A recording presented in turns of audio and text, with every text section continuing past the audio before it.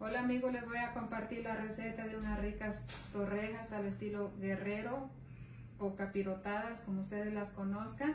Aquí está, tengo listo el pan y aquí tengo lo que voy a utilizar, huevo, azúcar, canela y piloncillo. Separaremos la clara de la yema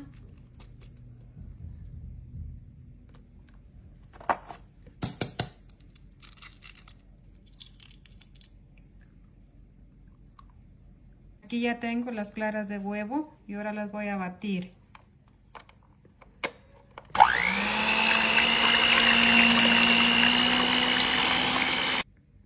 Ya está lista la clara, le agregaré las yemas.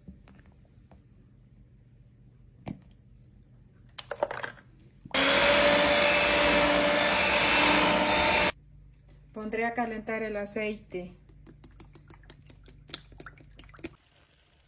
Aquí el pan se tiene que, capear con huevo.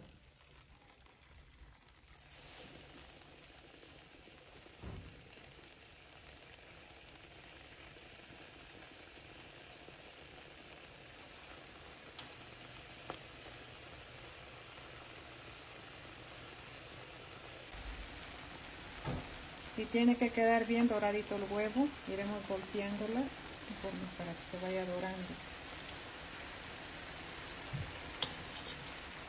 las esquinitas donde queda amarillito para que se dore bien. Ya tengo la olla con agua, agregaré el piloncillo que se, que se reedita.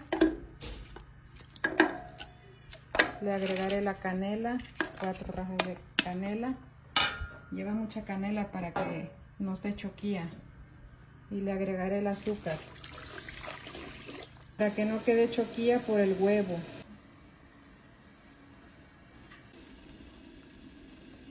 Ya está espeso el melado, agregaremos el pan.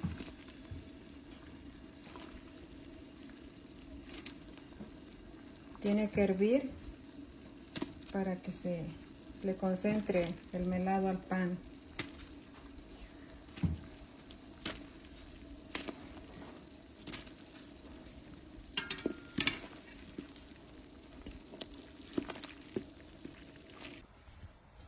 Dejaremos hervir a, fuego medio, ya que vean que absorbió el, el meladito, ya se puede sacar.